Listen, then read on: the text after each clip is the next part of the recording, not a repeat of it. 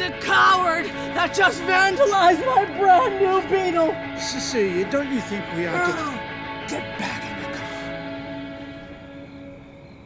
car. What the shit can we do? I'm giving you 30 seconds, you little shit! Cecilia, please. I'm dead serious, Earl. 30 seconds!